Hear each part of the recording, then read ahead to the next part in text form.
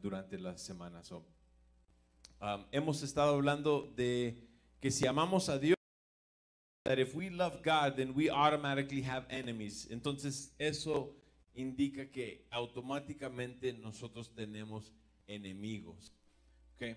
Because uh, God has an enemy. Last time, last time we talked about, una vez hablamos de sobre el pecado siendo enemigo de Dios. And if sin is the enemy of God, then it's our enemy. Si el pecado es el enemigo de Dios, entonces también es el enemigo de nosotros.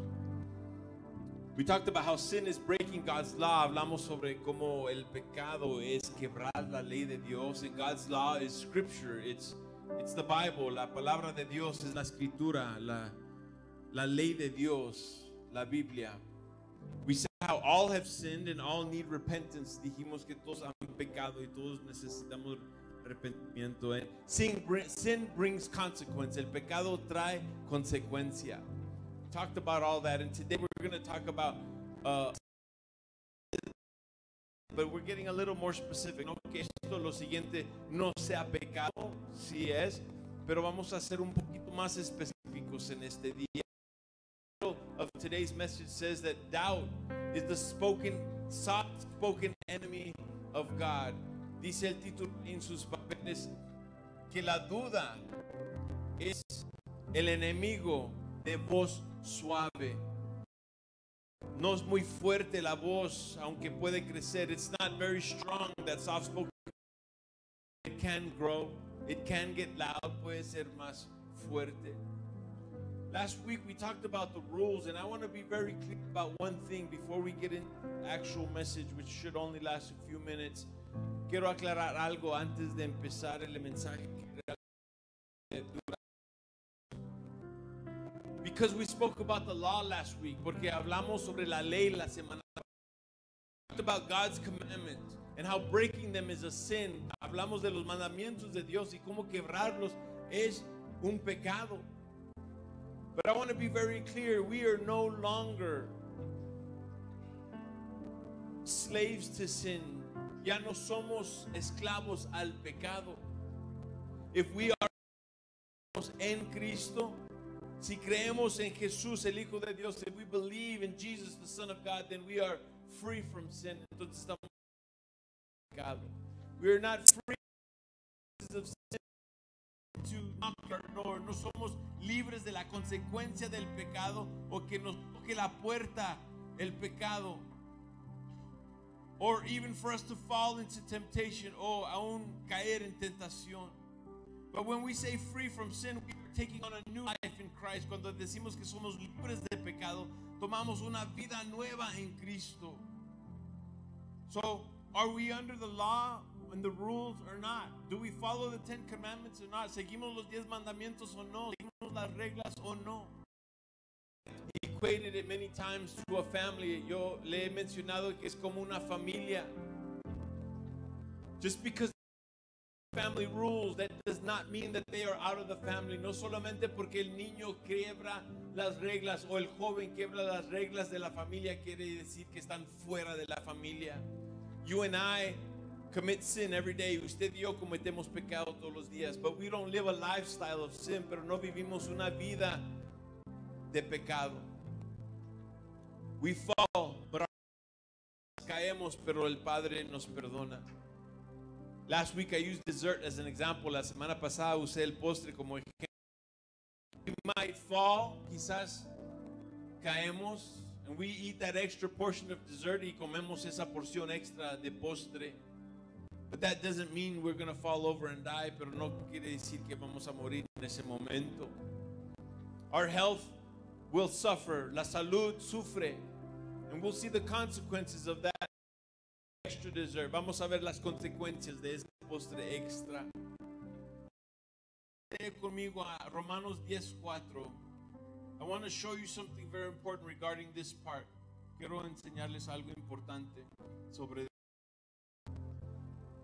Romans 10:4 says, if you don't have it, just listen along. Si no lo tienen, nomás escuchen para orar un poco de tiempo, so we save a little bit of time. Let's focus on the Word of God. Vamos a enfocarnos en la palabra de Dios. Romanos 10:4, Romans 10:4. Christ is the end of the law for righteousness to everyone who believes. Dice, de hecho, Cristo es el fin de la ley para que todo, para, para que todo que Él crea reciba la justicia. En otras palabras, si tú estás en Cristo, la ley se ha terminado en tu vida. If you are in Christ, the law is finished in your life. But if you are not in Christ, pero si no estás en Cristo, la ley aplica still applies to you. Why? ¿Por qué? Because we said last week that the law, the purpose of the law is for the law to show that you are a sinner. El propósito de la ley para mostrar nosotros como pecadores. But if we've already acknowledged that we are sinners, pero si ya hemos reconocido que somos pecadores, we don't need the law anymore. We need Jesus and we accept Him in our lives. Ya no necesitamos la ley en nuestras vidas. Aceptamos a Cristo y ahora al aceptar a receive Christ means that I have received His mercy and His grace, His forgiveness. Ahora quiere decir que hemos recibido la misericordia, la gracia de Dios, el perdón de Dios para nuestras vidas.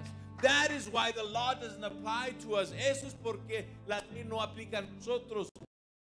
Cristo, those that are in Christ. Entonces no tenemos We are free to do whatever we want in sin. Somos libres para pecar las leyes de Dios. Dice Pablo de ninguna manera. Paul says by no means. Because sin is revealed by the law, but law of God, the word God's standard. La palabra de Dios todavía es el estandarte de Dios. It's how He wants us to live, how He demands for us to live, como Dios demanda que usted y yo vivamos. For salvation, para la salvación, no. Claro que no. But we follow the law to show that we love God. Seguimos la ley para demostrar que amamos a Dios. Just like the son and the hijo y la hija obedecen a papá y mamá. They obey mother and father. Why? Because they want to be good children. Porque quieren ser buenos hijos. If you and I want to be good children, we follow the law of God. We follow the word of God. But not for salvation, but to please our Father. No seguimos la ley para salvación, sino para agradar el Padre. James chapter 2. We said the law is no longer necessary for those who have become righteous by faith. Recuerden, acabamos de decir que la ley ya no es necesaria para aquellos que han sido justos en su fe. But if we only live by faith and we don't live by works, si solamente vivimos por fe y no por las obras, Santiago tiene algo que decirnos. James has something to tell us. James 2, 22 and 26. Santiago 2, 22 y 26.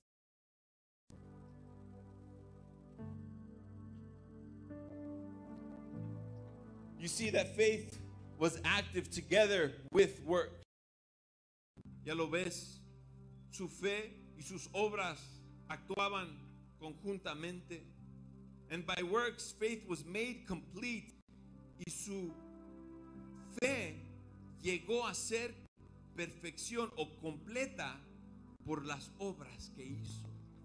So your faith is made complete. Tu fe está completo when you make works to back up your faith. Cuando haces obras para respaldar tu fe.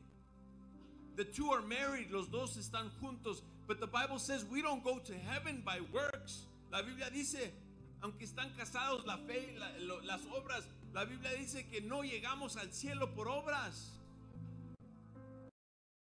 To show your faith, pero tus obras mostrar tu fe. So then we are not under the law, but under grace and mercy. Entonces estamos y la misericordia y no la ley. still sin. Entonces el enemigo todavía es el pecado. Claro que sí, of course. And today we focus on a new enemy. Hoy nos enfocamos en un enemigo nuevo. I'm five minutes. Termino en cinco minutos. Préstame los siguientes cinco minutos. Please pay attention the next five minutes. If doubt is the soft spoken enemy, of God, si la duda es el es enemigo de Dios, let's dive into to our lives. Entonces vamos a, a irnos más profundo a lo que es la duda. What or who is doubt? ¿Quién o qué es la duda?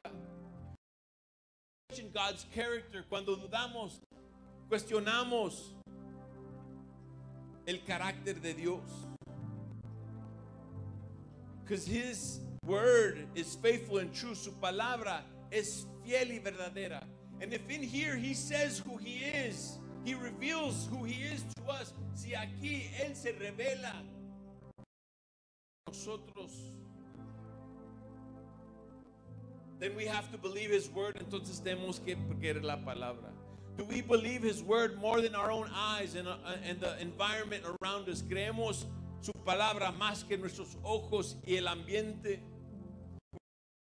Cuando hay enfermedad, do we believe His word more than our pain? Más que el dolor que sentimos. When we lose a loved one, cuando do we cling to his words of comfort? Palabras de consuelo. And do the word of God and rejoice for those that have gone on to be mujer, regocijar, regocijar por aquellos que han ido para estar con el Señor. Or are we guided by our emotions o estamos guiados por nuestras emociones? Now don't get me wrong, no me malentienda. The Bible covers that base. La Biblia cubre esa base. When we go through pain and suffering, cuando pasamos por valles, por sufrimiento y dolor, there to comfort because God knows that we will go through pain. Dios pasar por el dolor. So he is there to comfort él But when we question God, it takes on a different meaning. When we feel something, it's one thing. Cuando sentimos algo es una cosa. Because that feeling that you have when something happens to you, ese sentir cuando algo te sucede, eso es natural, that's natural. That just means you're human. Eso solamente quiere decir que eres humano. But what you do and how you think, pero lo que haces y cómo piensas should be in reaction to God's word. Debe de reaccionar uno de acuerdo a la palabra de Dios. Because faithful and true. Porque esto es fiel y verdadero. Everything else is temporary, but this will last forever. Todo lo demás se acaba, pero esto permanece para siempre. So then if we are not to doubt, entonces si no dudamos, we're That's the first point. No dudar su palabra, tenemos que conocerla, es el primer punto. We doubt his word. Dudamos su palabra. Cuando dudamos, empezamos a dudar su palabra. When we doubt, we start to doubt his word. In Genesis chapter 3 verse 1 en Génesis capítulo 3 versículo 1 dice que hay una serpiente y está tentando a Eva. It says that there's a serpent and he's tempting It's amazing. No dudó estaba hablando porque lo estaba escuchando because she was hearing him. But God had spoken already, pero Dios ya había hablado. She chose to doubt him y escogió dudar a Dios. starts by saying, la serpiente empieza a trabajar con estas palabras with these words. Did God really say that you can't eat from any tree in the garden? ¿Es verdad que Dios les dijo que no comieran de ningún árbol del jardín? He was casting doubt, estaba plantando la semilla de la duda. and then he goes on later to lie. Y luego después echa una mentira. But it started with doubt, pero empieza con la duda. If we want to love God, we have to see doubt. Tenemos amar a Dios. Tenemos que ver a la duda como un enemigo. Like I was talking about last week, we have to want to destroy the enemy. Como mencioné la semana pasada, tenemos que destruir el enemigo. And if doubt is creeping in, si tenemos que stomp it out. We have to get God's word in us and override it. Tenemos que agarrar la palabra de Dios y vencerla.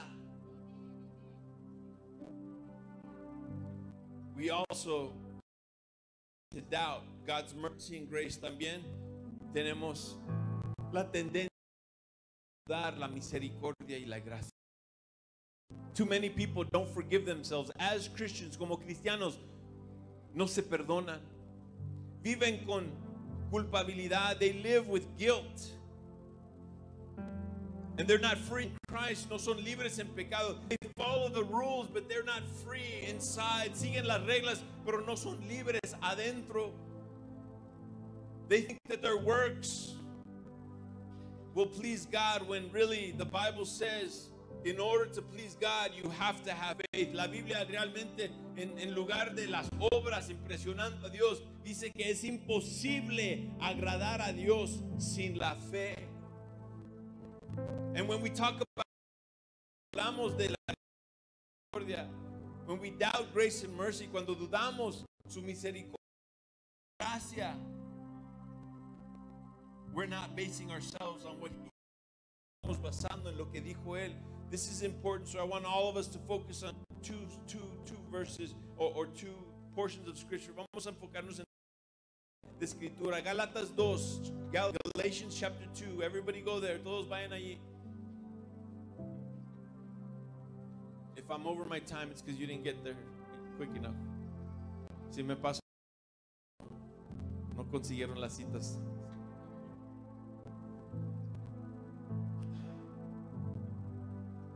We're going to look at 15 to 21. Vamos a ver el 15 hasta el 21. Galatians 2, 15 through 21. Galas, Galatas 2, 15 al 21. We are the Jews by birth and not Gentiles. Nosotros somos judíos de nacimiento y no pecadores paganos. And yet, because we know that the person is not justified by works of the law, but by faith in Jesus Christ, even we ourselves have believed in Jesus Christ. This so that we might be justified by faith in Jesus and by the works of the law, because by the works of the law, no human. Sin embargo, al reconocer que nadie es justificado por las obras que demanda la ley, sino por la fe en Jesucristo, también nosotros hemos puesto nuestra fe en Jesucristo para ser justificados por la fe y en Él, y no la ley, porque por estas nadie será justificado. Ourselves are seeking to be justified by Christ. If Christ then a promoter of sin, absolutely not. Ahora bien, cuando buscamos ser justificados por Cristo, se hace evidente que somos pecadores. ¿Quiere esto decir que Cristo está al servicio? De ninguna manera.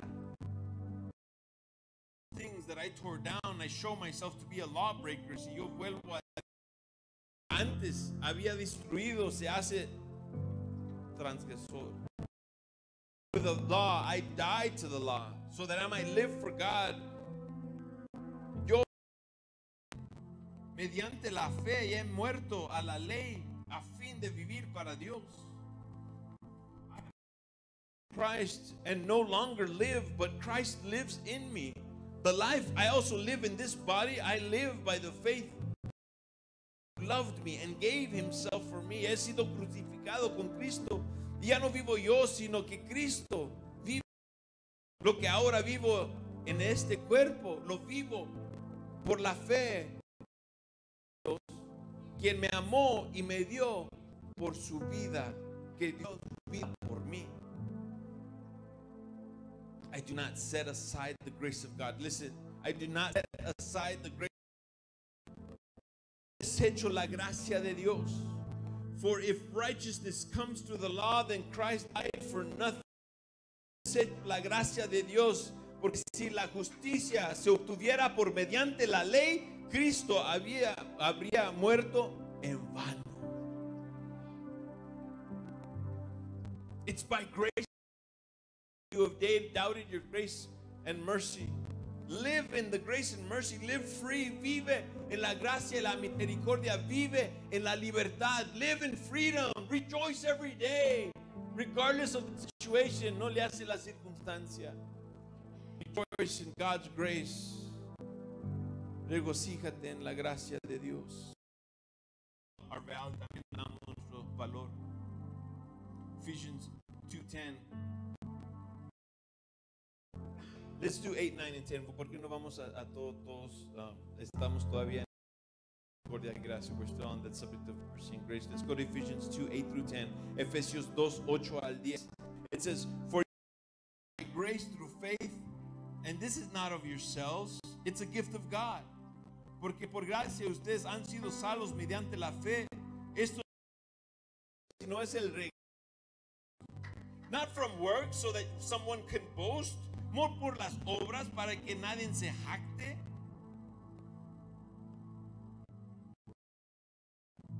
We doubt our value, nuestro valor. We doubt God's word, dudamos la palabra de Dios. We doubt our grace and our, our forgiveness, dudamos su perdón, la gracia, la misericordia. Vivimos miserables, we live miserably. And on top of all that, y arriba de todo eso, we don't believe what God says about us. No creemos nuestro valor, lo de nosotros. What it says, say, versículo 10, the very next verse says, We are His. Dice, porque somos hechura, el, el trabajo de Dios, la creación de Dios, created in Jesus Christ for good works, creados en Cristo Jesús para buenas obras, that God has prepared ahead of time for us, que Dios ha preparado antemano para nosotros. The value that God has placed on you, cuando dudas el valor que Dios ha puesto en ti, you doubt the value of His blood because paid for you. Cuando dudas tu valor como persona, desprecias el valor de la sangre de Cristo porque la sangre de Cristo pagó por ti y por mí. Our value as a servant, we don't value it enough. Nuestro valor como siervo de Dios. I, I don't know if I can do it, pastors. Do you think maybe I can help a little bit? Pastores, piensan que puedo ayudar un poquito. You're a servant in the army of God. Eres un siervo muy de valor en el ejército de Dios. Your value as a redeemed son. Tu valor como un redimido. You have bought by the blood of Jesus. Por la sangre. How much value your life has?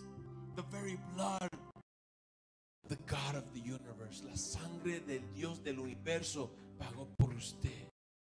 Por como redimido, your value as a redeemed is is priceless. Costo. Your value as a child of God, tu valor como hijo de Dios, regardless of no le hace que hace usted en su vida, you will always be a child of God. Siempre vas a ser hijo.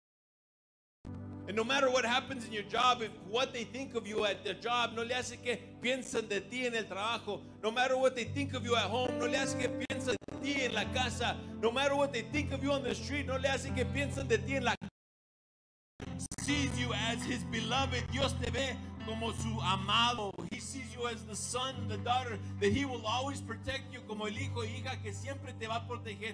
Dice la Biblia cuando habla Israel, as we are the spiritual Israel, the Bible says when he talks to Israel,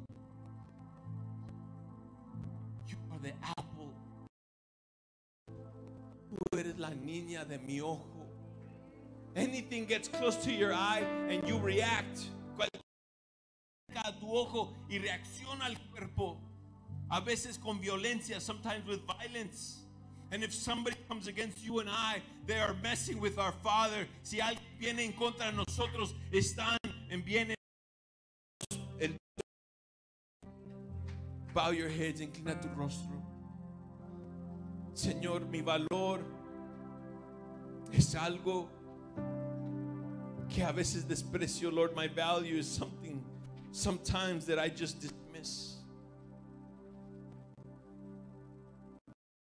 Servant, my value as a person here on earth, mi valor como un siervo,